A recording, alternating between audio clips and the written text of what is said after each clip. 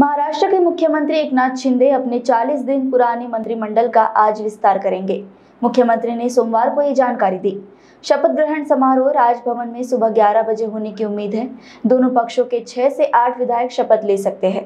बता दें कि शिवसेना विधायक शिंदे और भाजपा नेता देवेंद्र फडणवीस ने 30 जून को राज्य के मुख्यमंत्री और उप मुख्यमंत्री के तौर पर शपथ ली थी। सोमवार को शिंदे और फडणवीस ने कैबिनेट विस्तार के पहले मालाबार हिल में डेढ़ घंटे से अधिक समय तक बैठक की।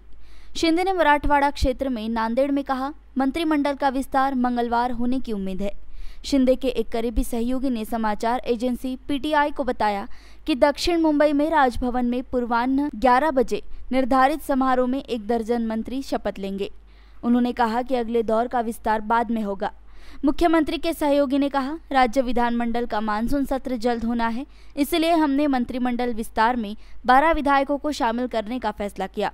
मंगलवार को शपथ लेने वालों में कुछ विधान परिषद सदस्य भी शामिल होंगे।